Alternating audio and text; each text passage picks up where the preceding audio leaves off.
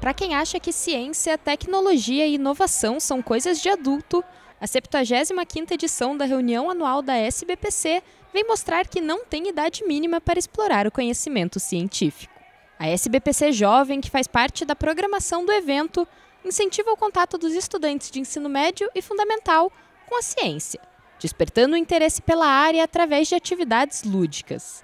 Para quem está apresentando nos estandes do evento, o espaço é uma oportunidade de aproximar o mundo acadêmico dos mais jovens. Aqui a gente trouxe dois projetos que nós temos em comum, que é trazer os estudantes para a universidade. Então a gente quis trazer algo bem lúdico para justamente chamar a atenção deles e para demonstrar a importância da universidade. É bacana ver a empolgação deles, que eles vêm aqui meio perdidos, mas quando eles vão entendendo cada passo, passando em cada etapa, você vê o brilhinho nos olhos, eles se identificando, se sentindo confortável. E acho que isso é muito importante mostrar para ele, para eles todas essas, essas oportunidades.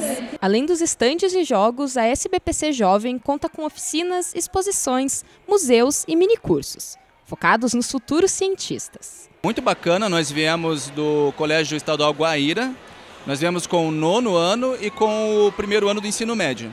Então é uma experiência bacana para eles, né, de aprendizado, eles têm aqui várias formas de, de, tra de, transmissão do conhecimento através da ciência. É fundamental que as escolas tenham esse tipo de experiência com os alunos, por isso, porque isso amplia a visão deles para outras áreas da ciência, da robótica, da eletrônica, da mecânica, da programação também, né?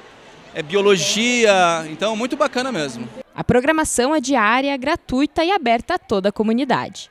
Para mais informações sobre a programação, acesse o site da SBPC Jovem.